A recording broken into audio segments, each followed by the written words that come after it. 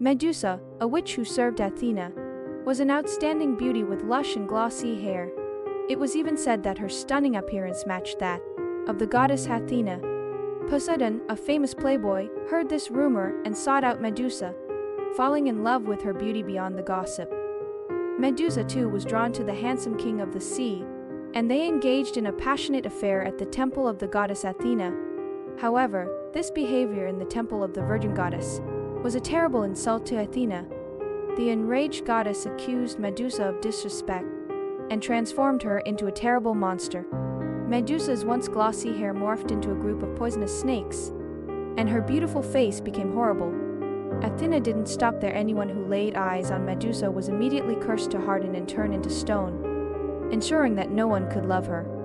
Although Poseidon, being a god, was immune to Athena's curse, the goddess's punishment intensified the hostility between him and Medusa. Poseidon also harbored resentment towards Athena for turning his lover into a monster, leading to the deterioration of the relationship between the two powerful gods. Despite Medusa being punished for her actions, there was nothing Athena could do to alter her father's powerful influence. Since then, a strong animosity developed between Athena and Poseidon,